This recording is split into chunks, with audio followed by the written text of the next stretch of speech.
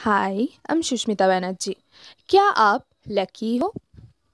तो आज हम इसी टॉपिक पे बात करेंगे और वीडियो के अंत में मैं आपको इस क्वेश्चन का आंसर भी बताऊँगी।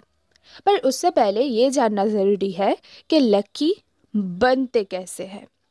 पिछली बार मैंने वीडियो बनाई थी कि आप कॉन्फिडेंट कैसे बन सकते हो। अगर आपने वो अभी तक नहीं देखी तो आप जाके देख सकते हो। तो चलिए आज का वीडियो स्टार्ट करते हैं। तो लकी बनना डिपेंड करता है चार चीज़ के ऊपर। एक्सपेक्टेशन एटीट्यूड एक्सपीरियंस और अपॉर्चुनिटी नंबर वन एक्सपेक्टेशन दोस्तों, जो टॉपर होते हैं, वो लगभग हर बार टॉप करते हैं। क्योंकि एक बार टॉप करने के बाद उसके मम्मी पापा तारीफ़ करते हैं, मेरा बेटा कितना अच्छा है, कितना पढ़ता है। टीचर्स भी बोलते हैं कि ये बहुत अच्छा स्टूडेंट है। हमारा नाम रोशन करेगा। तो इस तरह से सबका उससे एक एक्सपेक्टेशन रहता है। तो वो खुद भी सोचता है कि सब मेरे बारे में इतना अच्छा सोचते हैं तो मुझे भी उनके एक्सपेक्टेशन पे खड़े उतरना होगा।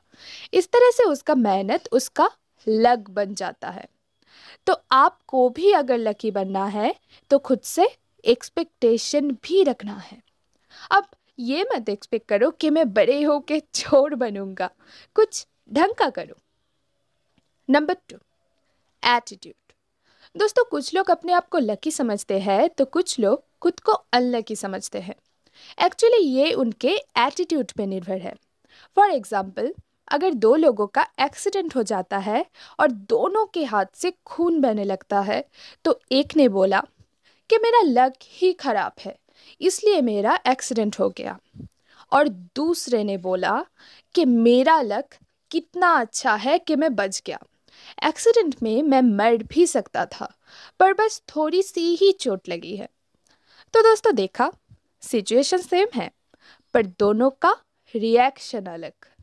तो हमारा लक हमारे एटीट्यूड पे डिपेंड करता है कि हम हर चीज़ को किस तरह से देखते हैं। नंबर थ्री एक्सपीरियंस क्या आपने सोचा कि आप खुद को लकी या अनलकी क्यों समझते हो? उसका कारण है आपका अनुभव। अगर आपके साथ पास्ट में बहुत कुछ गलत हुआ हो तो आप खुद को अनलकी समझ लेते हो। और अगर आपके साथ पहले बहुत कुछ अच्छा हुआ हो तो आप खुद को लकी समझ लेते हो। क्यों? सही बोला ना? नंबर फोर अपॉर्चुनिटी एक बार कुछ लोगों को एक न्यूज़पेपर दिया गया था और उन्हें उसमें टोटल पिक्चर्स कितने हैं, वो गिनने को कहा गया। तो कुछ लोगों ने उसे गिनने में दो मिनट्स लगाए तो कुछ दो सेकेंड्स ऐसा क्यों हुआ? क्योंकि जो खुद को लकी समझते थे, उन्होंने सेकेंड पेज पे ही देख लिया था। Stop counting here are total forty two pictures तो उन्होंने जल्दी से आंसर दे दिया। वही जो खुद को अनलकी समझते थे, वो बस पिक्चर्स गिनते रह गए और गिनने में ज़्यादा टाइम लगाया। तो जो लकी होते हैं, वो अपॉर्चुनिटी ढूँढने में माहिर है और यही चीज़ उनको और भी लकी बनाती है। तो देखा, कैसे चार चीज़ आपको लकी या अनलकी बनाते हैं।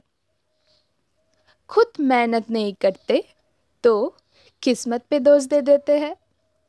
मेहनत करके देखो। किस्मत अपने आप चमक जाती है। तो आशा करती हूँ आपको अपने क्वेश्चन का आंसर मिल गया है।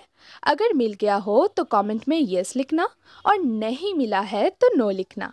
तो मैं आपको अगले दिन इसका आंसर बताऊँगी। वीडियो अच्छी लगी हो तो लाइक कमेंट शेयर और सब्सक्राइब कर देना। तो फिर मिलेंगे नेक्स्ट ट्यूजडे को। तब तक के लिए good bye and good luck